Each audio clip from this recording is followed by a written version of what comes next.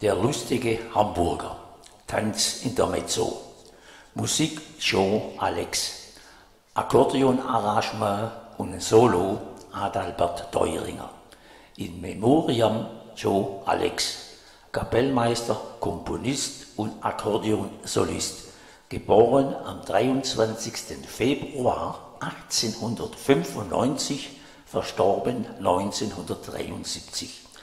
Auch längst vergessene Komponisten haben diese Würde verdient. Aufnahme Studio Teuringer Juli 2018.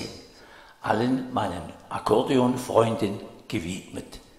Liebe Grüße an Marga Helene, Eva Irkenberg und Werner Augustin Jukel.